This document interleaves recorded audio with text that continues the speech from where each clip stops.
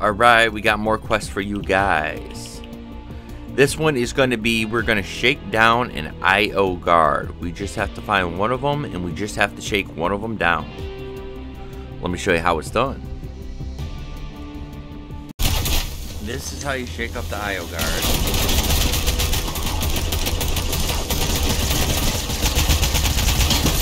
grab one, shake them, don't finish up all three, and you are good.